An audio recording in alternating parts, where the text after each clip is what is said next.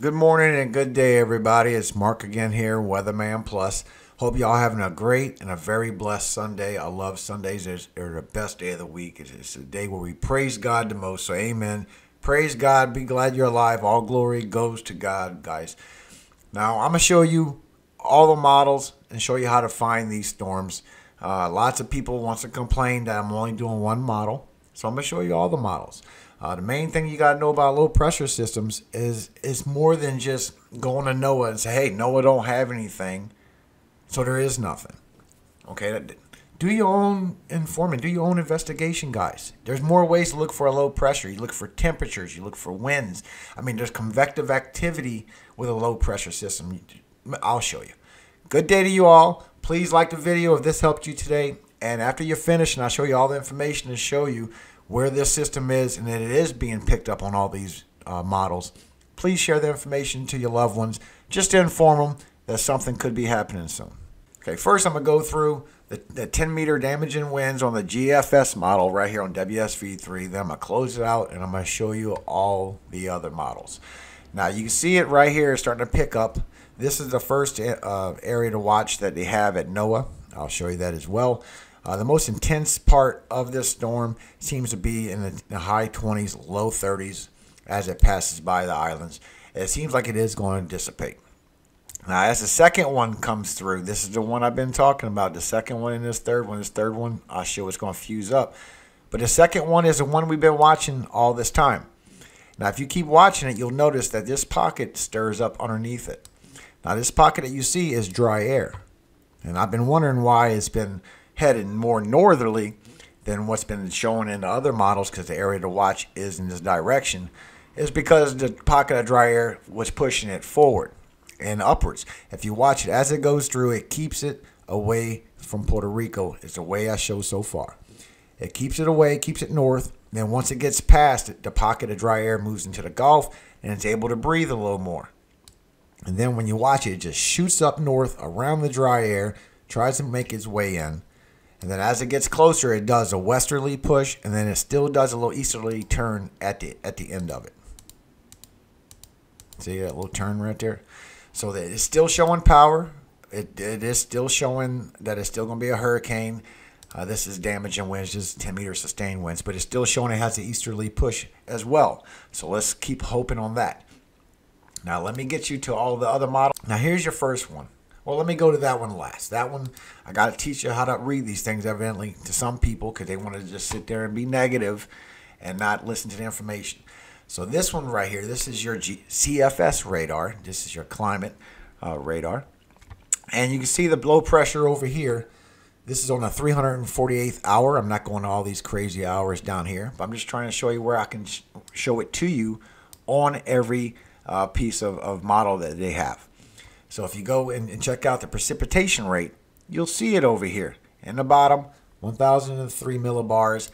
As it moves up, you'll see that it does go down 1001, goes down to 999. And this one it goes down to 998 and it starts moving over uh, Miami, Florida is what it looks like in that, that general area. That's what this model is showing. As it continues to move forward, it looks like it goes into the Gulf for a minute, then it goes towards Tallahassee. You can see it curve right there towards Tallahassee. It starts strengthening up a little bit. It gets down to 998 millibars.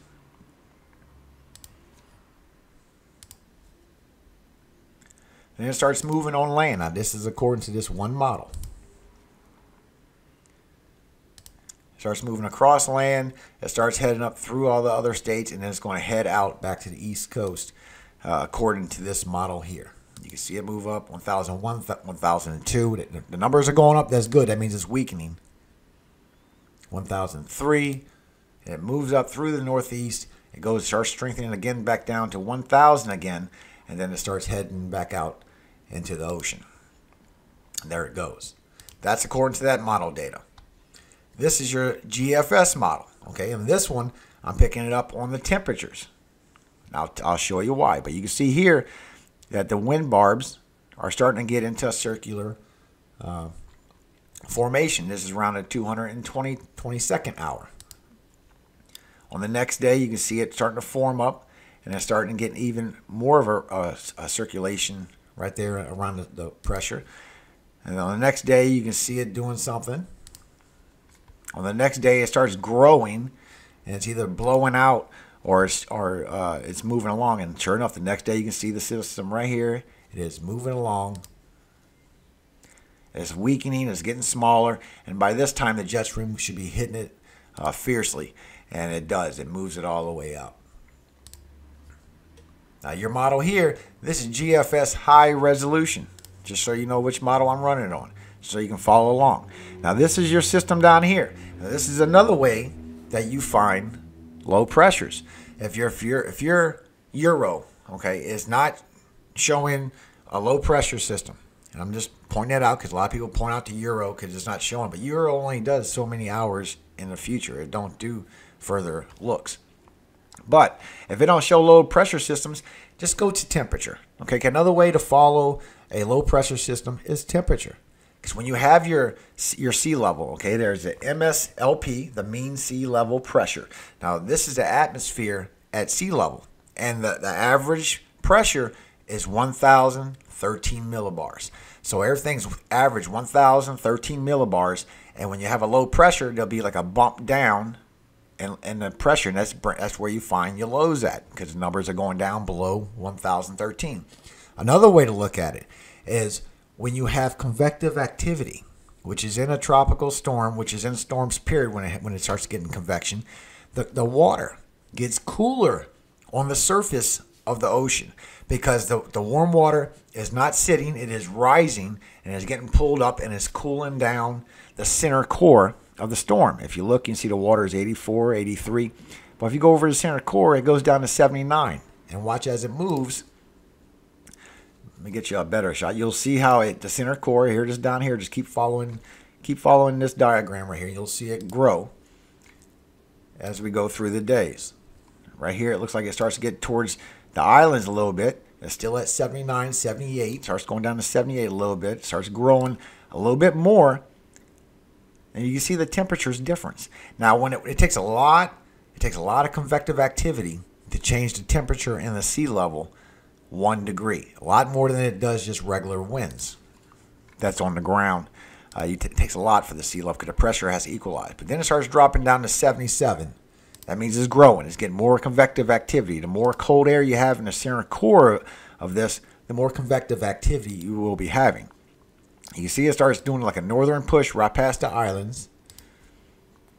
I'm just showing you how to follow this storm. It's down to 78. There it is right there. There it is right there. It's growing a little more. It's getting down to 77 degrees. There it is moving right there. It's growing and it's moving. Then it looks like it's dissipating. That, that would be the wind shear coming off right here. The wind shear is, is right here at 300 millibars and it's pushing fast, and that's why it's spinning it out. But you can see it's getting down to 78, 77 degrees. It's it's cold. There's a lot, there's convection in the center of this. And as it moves out, it gets down to 74 right there. So it starts getting a lot of energy because actually the wind shear does create convection. It does pull up. So at the same time, it's creating convection, it's creating cooler temperatures in the center core of, of this storm that's going to be off the uh, east coast is what it looks like so far. And it's still 74, it's still getting convection, and as it moves out, the, the wind shear does bring it out. Now this one right here is your Euro model. You always say, hey, you don't, I don't see it on a Euro model. I beg to differ with that. Now, if you see right here, this is a, a low pressure system moving right here on a Euro model. Okay. You see it right here, it starts growing a little bit, and then it goes out. That's all that Euro model had, but it did show it to you. This is another Euro model, and if you can see, it only goes up to 240 hours on this one. This is the low pressure system out here. And you can see it dropping in, in millibars and moving along. So how y'all saying y'all not seeing this on Euro? I say you're not looking hard enough. No offense. Now this is your GDPS model. It picks it up right here. It is also moving along, picking, uh, dropping, dropping low pressure as it moves along. And I'll just click through so you can see it. And then it, then it showed it curved and then it moved out. So different models are showing different uh, outcomes, but they're both showing a, a, westerly push. This is your UK Met model. You can see this the, the circulation happening right here in front of you. And if you go to the next one, you can see the low pressure forms right there. There it is. And it's still showing, uh, still showing off the east coast. But it's showing it does do a easterly push. But there it goes, going up. Starts getting the pressure below 1013, so now it gets a number 1012. 1013 is the average. 1011 it strengthens, just like the other model showed, on its way out. Still too far away, so we don't know if this is really going to go out or if it's going to come in. I'm just showing you what I have now. Now, this is your NAM model. Want to make sure there's no discrepancies. You can see a low pressure system right here. And you can see it does grow and go out according to the low pressure uh, system of, of the NAM model. It gets down to 1008, it gets picked up, and it moves away and weakens. You see the numbers rising, that means it's weakening. All right, now this one is your EPS model. Here's your system right there with your low pressure system. It loses pressure system as it moves up. That's all that one had. It only goes so far. This one is your GEF model. There's your, here's your low pressure. There's your system moving as it goes along. And then this one is your GEF V12 model. Now this is what I wanted to show you. Okay, this is the final shot I got for you. This is your low pressure system here. This right here is dry air. There's a plume of dry air that was underneath it. It moved in front of it, and that's what makes it do that northern push. But as you see the days go by, I'm just going to do this one forward. As you see the days go by, you'll see that the, the dry air diminishes, and this is all rainfall. Okay, you can find a storm system. If you can't find it by low pressure, you can't find it by the convection, you can't find it by the, by the temperature, you can find it by the heavy rainfall. Because that regular rainfall is all out here average, but this is heavy rainfall. So it's, it's, you can definitely find a, storm, a storm system by following the heavy amounts of rainfall as it's moving. The dry air is still there on the next day, but the dry air starts diminishing. Starts diminishing as the storm gets even more rainfall in its center and it keeps moving on a westerly push. It diminishes. And then if you watch right here, it actually broke it down a little bit. See, it weakened some because all that fight with that dry air. But then the dry air is going to move along, and this is going to grow back and start keep uh, continuing on its uh, westerly push.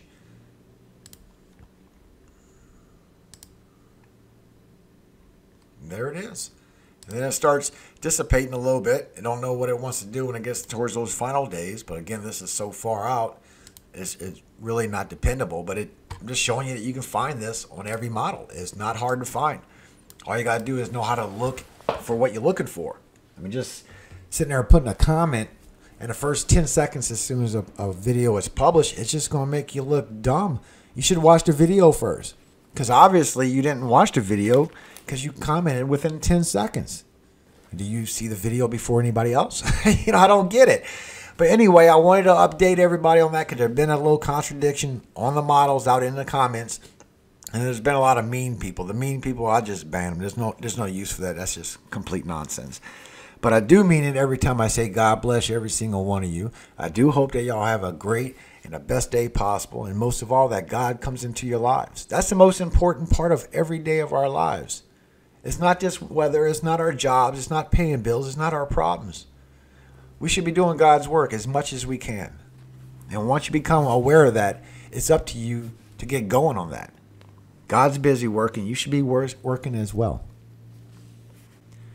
Now, Psalms 11. In Jehovah I have taken refuge.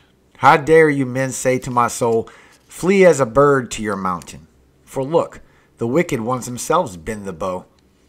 They do make ready the arrow upon the bowstring to shoot in the gloom at the ones upright in heart. When the foundations themselves are torn down, what must any righteous do?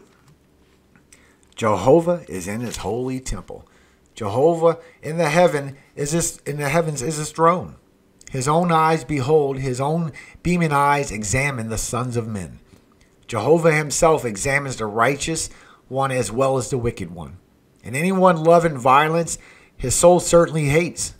He will rain down upon the wicked one's traps fire and sulfur and a scorching wind as a portion of their cup. For Jehovah is righteous. He does love righteous acts. The upright are the ones that will behold his face. Amen. God bless you today. I hope you all have a great Sunday today. Amen. I love Sundays. Thank you again for watching. Please share if I helped you. Let people be notified of this possibility.